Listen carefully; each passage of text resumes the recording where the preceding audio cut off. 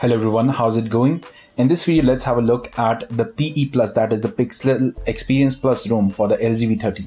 As you can see here, this has the June 2021 security patch level, and this is based on Android 11.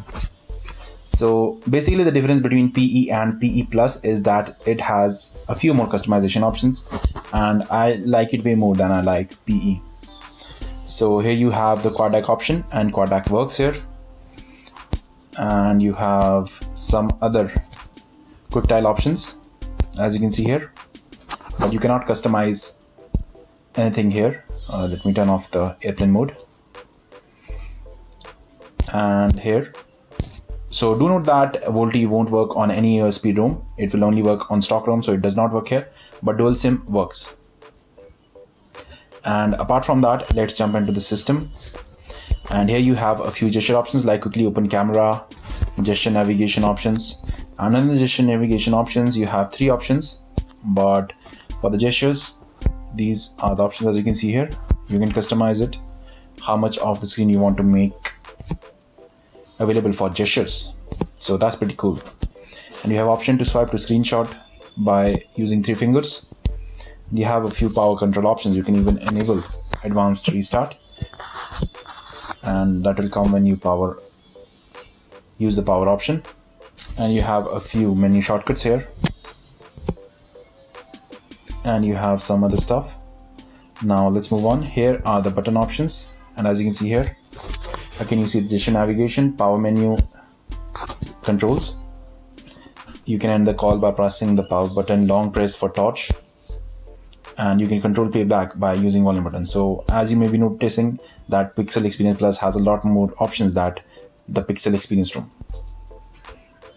And you have click for partial screenshot, all that as you can see here. And here are the status bar options. You can even enable on the status bar or quick settings to show you your traffic internet that is happening right now. You can customize the system icons that are being shown. You can double tap to sleep on the status bar or in the lock screen to turn off the display. And you have clock option on the left.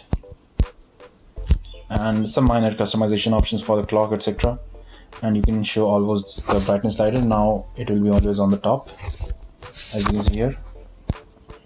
You can control brightness by sliding across the taskbar. And you can even customize the number of rows and columns that you want to see here. And now you see there are a lot more options and further in advance there's nothing special. Let's get out of here. And let us see if there are any options under accessibility settings. Because some ROMs have some options hidden here like you have the dark theme here but it is also available in the display section. And yes so this is what I was talking about. You can customize the bright vibration level here. So that's pretty cool but I'll leave it on medium. You have the three options here. And you even have live transcription here. So you can basically enable that from this option here as well as you can see here. I'll disable that. And let's jump in to the display section. Here you have the option for night light as you can see here. And you can even schedule that or change the intensity. You have live display so as you can see there are a lot of options here that are generally present on lineage OS but not on Pixel Experience ROM. Because this is basically the plus version. And here you have a few customization options. You can customize how it looks.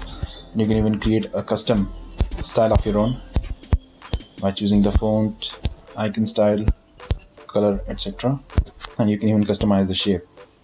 So that's pretty cool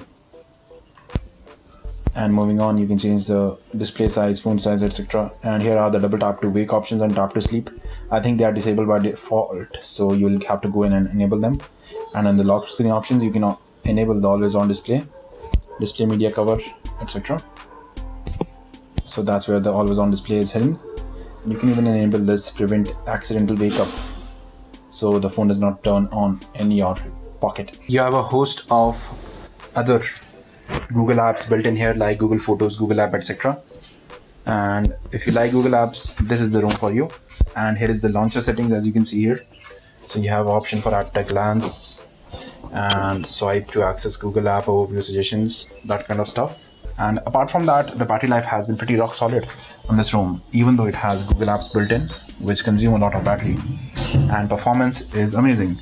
As for the bugs with this ROM i will be listing them down and they are present in the description below and you can check that out for the links to download as well as an AOSP guide like what you need to do to flash Android 11 ROMs, what are the preparation needed, and what are the bugs present right down on Android 11 and Android 10 ROMs.